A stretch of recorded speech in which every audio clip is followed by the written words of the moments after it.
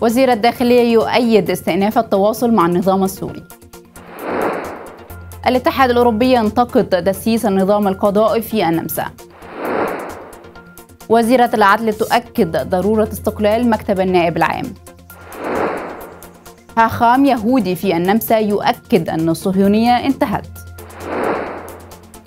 العثور على عامل بناء سلوفاكي مقتول في فندق بفيينا. نشطاء المناخ يعطلون عدد من الرحلات في مطار فيينا. وجواز السفر النمساوي يحتل المرتبة الثالثة عالمياً.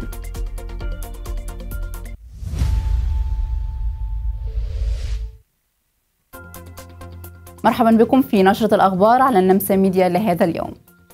أيد وزير الداخلية النمساوي جيرهارد كارنر مبادرة وزير الخارجية الكسندر شالنبيرغ بشأن استئناف الاتصالات مع رئيس النظام السوري بشار الأسد. وأكد كارنا أن النمسا والاتحاد الأوروبي يعتزمان تعزيز التعاون مع دول خارج الاتحاد لمكافحة الهجرة غير الشرعية وأشار إلى تكثيف الاتصالات مع دول الاتحاد الأوروبي لتنسيق جهود مكافحة, الهجرة. ودعا وزير الخارجية الإيطالي أنطونيو تاجاني وشالنبيرغ إلى إعادة النظر في الاستراتيجية الأوروبية تجاه سوريا. مشددين على أهمية تعزيز التأثير السياسي من أجل تحسين المساعدات الإنسانية وتسهيل عودة اللاجئين.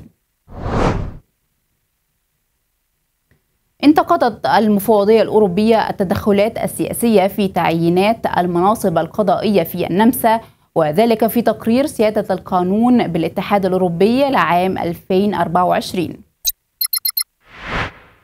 وأشار التقرير إلى غياب التقدم في إشراك القضاء في تعيين رؤساء المحاكم وإصلاح مكتب الادعاء. كما دعت إلى تحسين قواعد الشفافية لأعضاء البرلمان وتعزيز الرقابة على اللوبيات.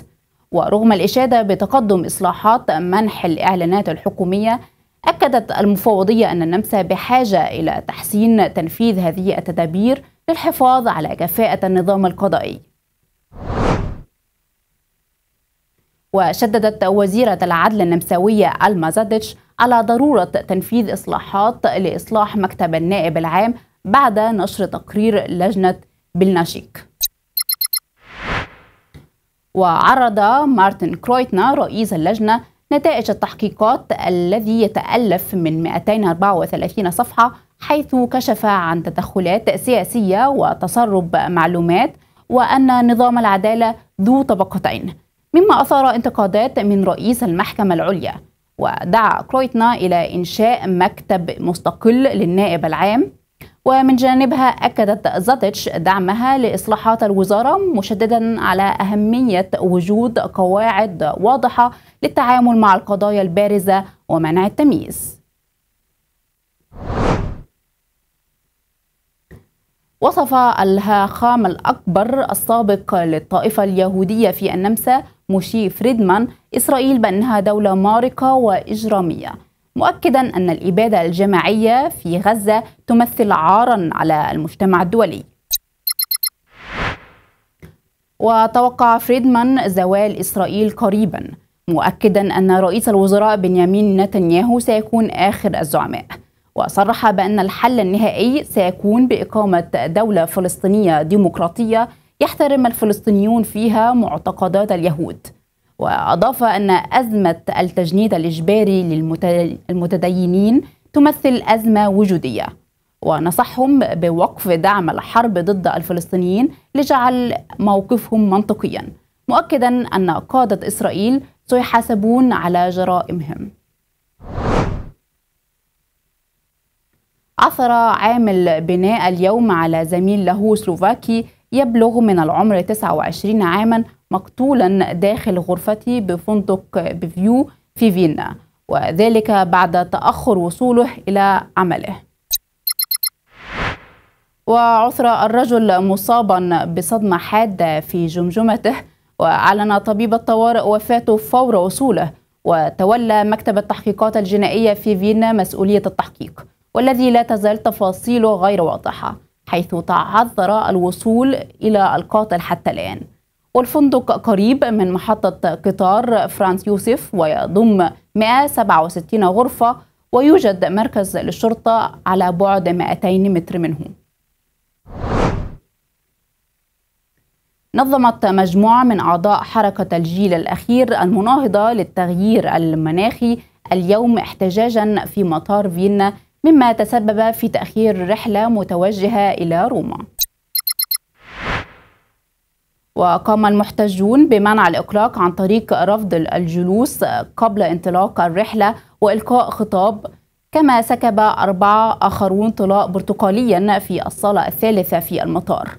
للاعتراض على استخدام الوقود الأحفوري وأوضحت أحد الناشطات أن المطارات تمثل قمة التدمير الناتج عن الوقود الأحفوري ودعت إلى معاهدة ملزمة للتخلص منه.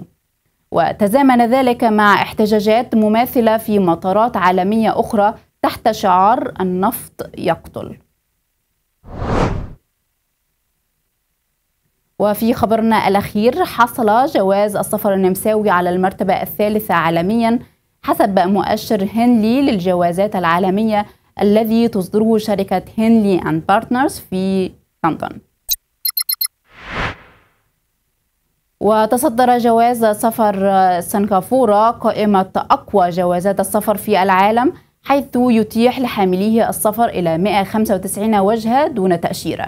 تلتها اليابان وألمانيا وفرنسا وإيطاليا وأسبانيا في المرتبة الثالث الثانية ب 192 وجهة وفي المرتبة الثالثة جاءت جوازات سفر النمسا وفنلندا وإيرلندا ولوكسمبورغ وهولندا وكوريا الجنوبية والسويد ب 191 وجهة فيما جاء جواز السفر المصري في المرتبة السبعة والثمانين ب 52 وجهة فقط.